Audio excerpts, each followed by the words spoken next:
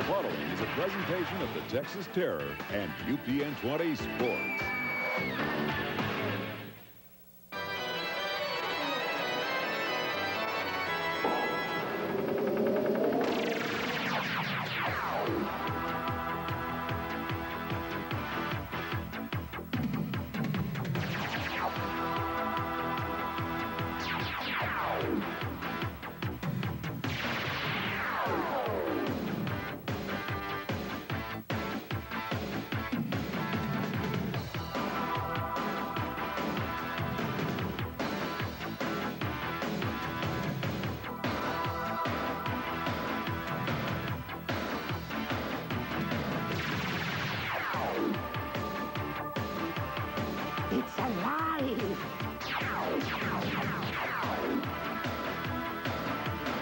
Welcome to the House of Horrors, the Summit in Houston, Texas, for the first game ever of arena football in Houston, the inaugural season of the Texas Terror. Good evening, everyone. I'm Dan Patrick, and joining me on UPN 20 all season, bringing you terror action, former Longhorn and Houston Oiler lineman Doug Dawson. Doug, this is fun, and I tell you what, it's action-packed. It is going to be action-packed, and we are going to have a lot of fun tonight, Dan. We're playing on a 50-yard field. Seven, seven of these eight players are playing both ways. They're going to get, they're going to have to be in great shape. John Paul Young, the coach, called it 60 minutes in the red zone. They throw the ball about 85% of the time. We're going to have a ton of scoring, and it's just going to be a fun night to play football. A lot of familiar names on the Texas Terror to those of you who followed uh, football here in Texas, including the head coach, John Paul Young, formerly of the Luv Ya Blue Days when he was coaching under Bum Phillips and has a lot of bum in him. Uh, we talked to uh, John Paul about the strengths of this football team, and here's a typical bum answer. Well, I can't think of any right now. I tell you what, Doug, he, he learned from Bum how to answer questions, and we asked him, now, what have you been working on all week, Coach? Everything. And they have been assembling a team from, from the beginning, forming the organization in just a couple of months to get ready for tonight's opener with the Minnesota Fighting Pike. A lot of familiar names uh, on the roster, including quarterback Jimmy Klingler, who as a sophomore at the University of Houston broke all sophomore quarterbacking records in college football. And here's a guy who is happy to be back in his hometown playing pro football. It's a dream come true for me to be back playing in Houston uh, professionally. And you know, I grew up playing here uh, ever since I was five years old, and I hope to retire here. Texas Terror football, it's going to be fun. It's going to be exciting. It's a 14-game season, seven at home, seven on the road. Doug, could you have played both ways? I would have had to drop a little weight, Dan. This is these guys are in great shape. They're great athletes, and we're excited about uh, this football season and bringing it to the fans at home. Well, we're exciting having you as our broadcast partner, and I have found out something, folks, that offensive linemen, even when they put on a suit, put on the silicone so no one can grab a hold of them. We'll be right back with the opening kickoff with Texas Terror football.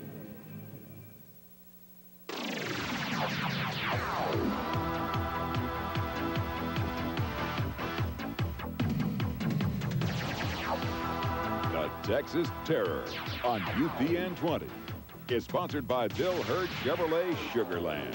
Whatever it takes, the official dealership for the Texas Terror.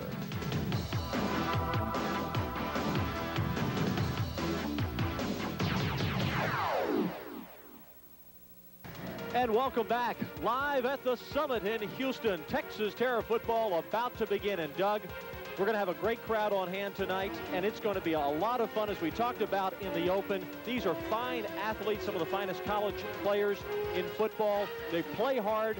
They take a pounding out there going both ways, hitting the boards, and the folks who have never seen it, an arena football game are really going to, I think, be surprised of the electricity in the game. Well, I tell you, the electricity was already evident by the by the uh, the smoke up here and by the introductions. They did a great job. It was a dark house, and they brought everybody in, and the fans were going crazy. And these guys do have to be in great shape. They're going both ways, and it's going to be a high-scoring game. We're excited about it. Let's uh, let's take a look at the lineup so you can get familiar with your Texas Terror football team. Starting on offense, Corey Brandon out of Oregon State on the line, along with Kelvin Harris out of Miami and Steve Clark out of the University of Houston. One wide receiver spot out of Lamar, Chris Ford. Offensive specialist, and we'll explain what an offensive specialist is as we go through the game. That will be Bo Adams out of Texas Tech.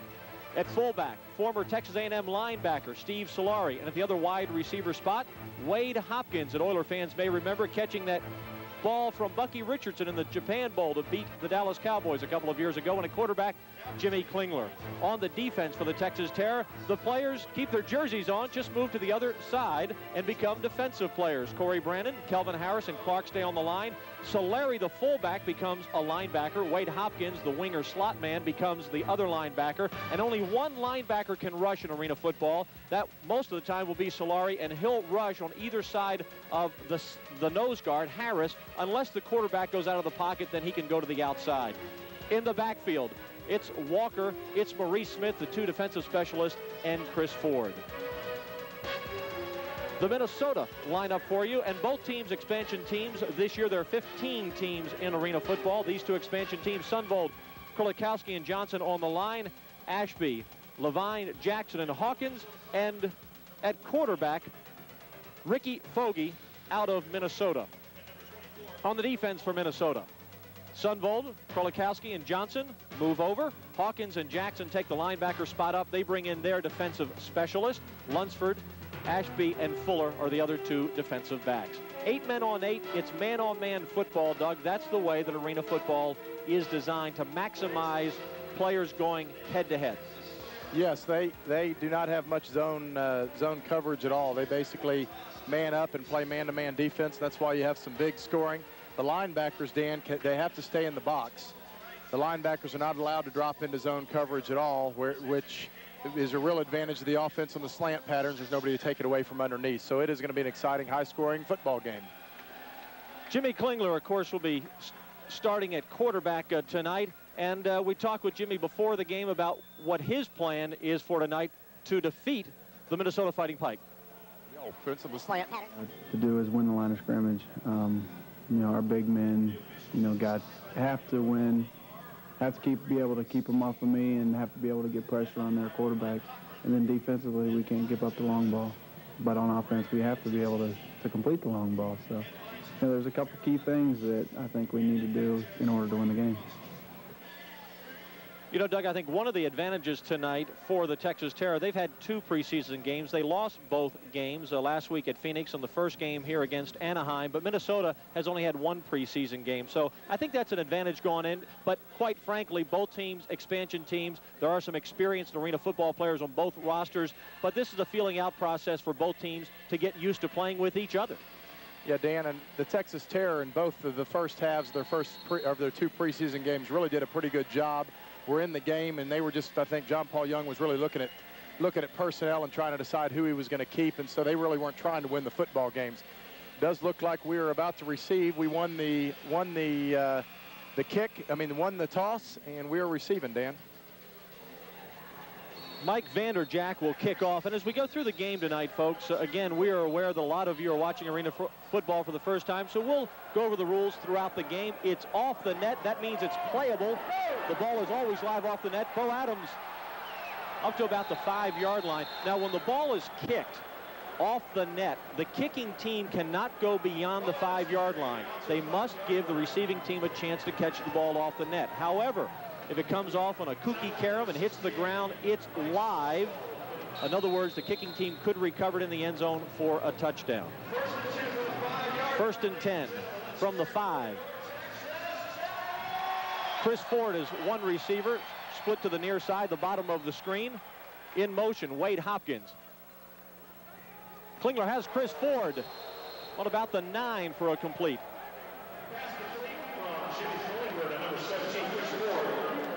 And Doug, you'll see a lot of fast passes in this game. Three, four, five-step drop. You don't have time to look off too many receivers. And another thing that you'll notice, folks, as you watch the game, the hash marks really come into play. As you can see, the ball is on the near side, close to the wall. The field only 85 feet wide, 50 yards long. So that, you know, if you're on defense, you might be thinking the play is going to come to the wide side of the field. Hopkins in motion again, Klingler back and off the hands of Steve Solari, the fullback who played three years as a linebacker at Texas A&M, starting 26 games. He was pretty wide open, Dan, and the reason is because they brought their Mike Backer up the middle. And the Mike Backer is who is instructed to pick up the fullback, and so therefore, if he had completed that ball, there wasn't anybody that was going to be able to tackle him right away. So they need to they need to take advantage of that when the Mike Backer does not cover man-to-man -man the fullback. So being bring up a third and about uh, five and a half. Bo Adams, the offensive specialist, in motion. Klingler looking for Bo, and he's brought down on his own one yard line. The pressure up the middle. And remember, in arena football, you cannot rush to the to the outside as a linebacker, but the lineman can move to the outside. Yeah, Nate Johnson made the sack there, came around uh, the end, and they had kind of a stunt in the middle. And they didn't do a very good job picking it up, and uh, it is fourth down. And we notice there is not a punter out there, Dan. There's no punting in arena football. So on fourth down, no matter where you are, you go for the field goal. Richard DeFelice out of North Texas kicked one from here two weeks ago and last week. He's had a 61-yarder. This will be about 64 yards. It's long enough. It's off to the right. Actually, it would have come up short had it been straight. That will come out to the five-yard line. Well, we saw two weeks ago when Richard DeFelice made that, we saw a little more leg that time. He didn't get all of it that time and uh, kicked it a little bit short, a little bit to the wide to the right. I like, Doug, the fact that there is no punting. It's one of the things in the That's NFL fun. that slows down the game, and here you have a chance to score from everywhere. And again, it looked unlikely to kick the field goal, but he's done it twice already of distances of 59 and 61 yards. And we're talking about goalposts that are only nine feet wide, half the distance of the NFL. Minnesota about to put it in play on offense. Ricky Foggie looking deep. No one back there. And that's a souvenir, 75 bucks worth. When the football goes in the stands, folks, it's yours. And they are fighting for it, aren't they, Dan? they realize they don't, in, in, the NFL, they don't fight for it like that because they have to throw the ball back in. And they are booing because the man that y'all are watching took it away from the poor young child who I think grabbed it after the fact. Speaking of slowing down the game, Dan, you know, they have not stopped the clock yet. They do not stop the clock until I guess late in the late in the first half and late in the, in the game. One minute to go in the half and at the end of the game. Second and 10. Foggie incomplete. Bring up third and 10. Yeah, the clock never stops until we get to the last minute of the half and the end of the game. The Texas Terror made up of primarily Texas players, including nine players from the Southwest Conference and four from Texas Tech alone. All are giving us their various hand signals. Of course, Doug, you being a Longhorn. Hook 'em horns. Hook 'em horns. Third and 10 for Minnesota. Foggie back in his own end zone. Incomplete once again, and that will put them in a fourth down kicking position from their end zone. Five, Reggie Corey Brannon really gave gave great pressure. He, you know, beat beat his uh, his his guard, beat his guard inside and came up the middle. Really got held a little bit, but put some great pressure on the quarterback, make him throw it a little bit before, a little bit before that he wanted to, and uh, it's fourth down, and it looks like we're gonna get the ball back. Corey Brannon, number 97 out of Oregon State. Mike Vanderjagt. This will be about a 60, uh, the end zones are eight yards deep, so you're looking at about a 61-yard attempt. Bo Adams back in the end zone for the Terror. Bo has it in the end zone. He's got some room to bring it out. He's up to the 10 and brought down on the 13. We'll see where they mark it on about the 13-yard line. And the Texas Terror will put it in play with 10-13 to go in the first quarter.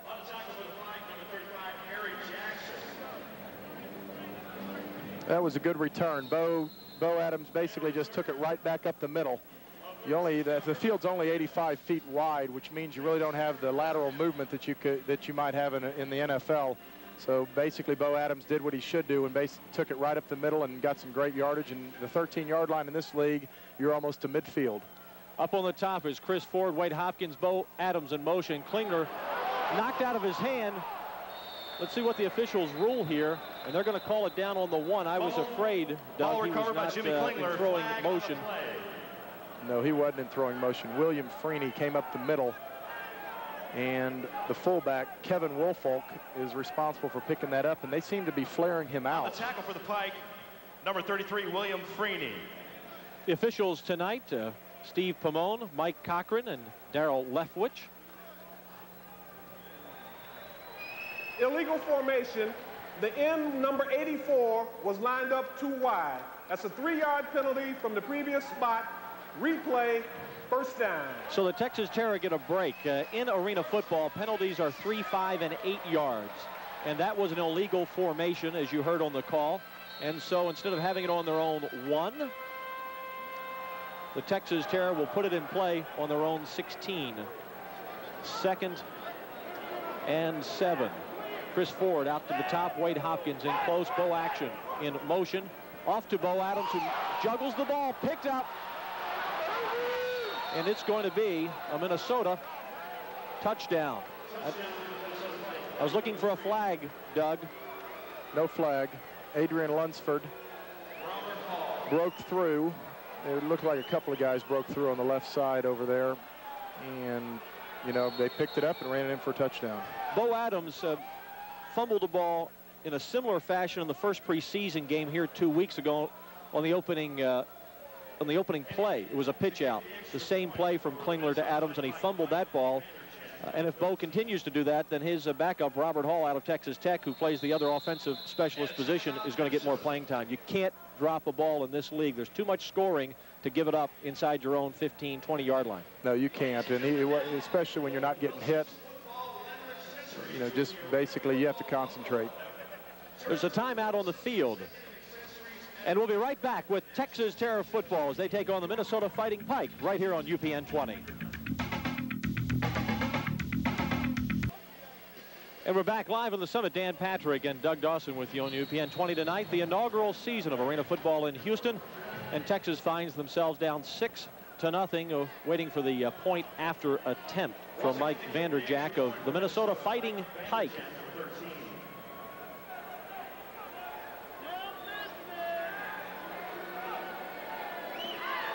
And snap. And it's off to the left. It hits the metal iron post that holds up what they call the slack net. And that will leave the score six to nothing. Doug, here's a look at the fumble by Bo Adams.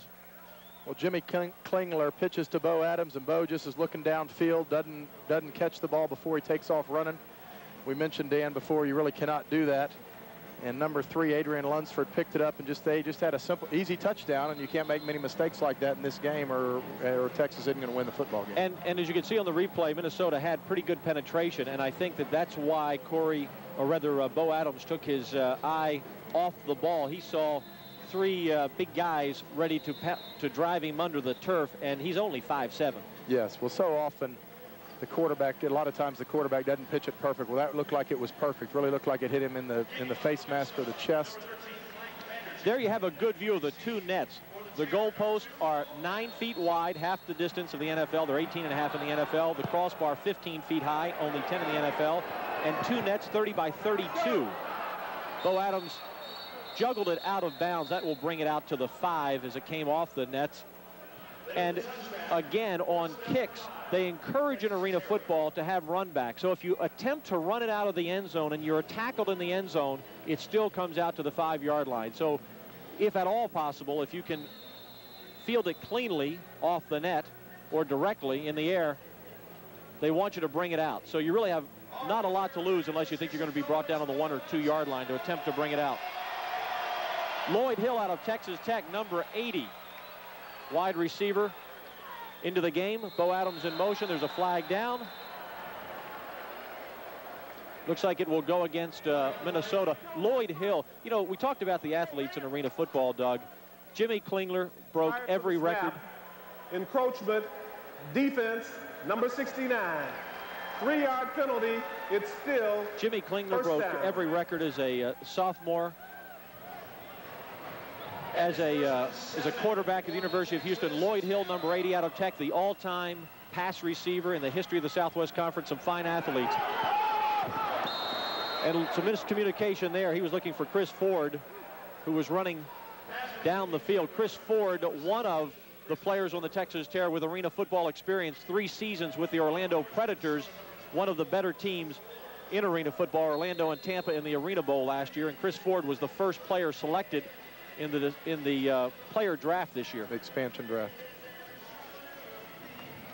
Trips out to the left. Jimmy Klingler. Now Bo Adams moves out to the top. Klingler under some pressure. And Lloyd Hill drops the ball. There's a flag down. Looks like it might be in that um, in that position that I used to hate to see a flag, Dan. It's like it could be. Adrian Lunsford, number 24. No, it's, it's uh, as, as, as offensive linemen like, it's, it's on the other guys. Yes, it is. And we'll get the call here. Illegal outside rush. Defense, number 33. Five-yard penalty, automatic, first down. Dan, what happened on that number 33 from the Minnesota Fighting Pike, William Freeney, ended up rushing outside, and he has to rush in between the guard and the center as a linebacker. He cannot rush outside, and that's what the call was. First and 10, Jimmy Klingler back, sets up a little screen for Kevin Woolfolk, complete up to the 22. Kevin was the leading rusher with the Charlotte Rage last year, also picked up in the draft by the Texas Terror. And when we say leading rusher, that was 56 yards last year. There's not a lot of rushing in arena football. In fact, no one has rushed for more than 100 yards in, in one game. Of course, the short field. This screen pass was set up perfectly, and it looked like he had a ton of field, and Freeney came over and barely made a shoestring tackle from behind, or Woolfolk would have gotten a lot more yards. It's second and about two. Flag down. Klingler's arm hit at the line of scrimmage.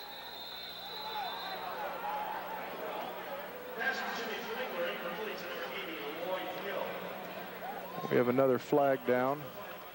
And Texas is Texas is motioning that it's against the pike. And we'll get the call here in a moment.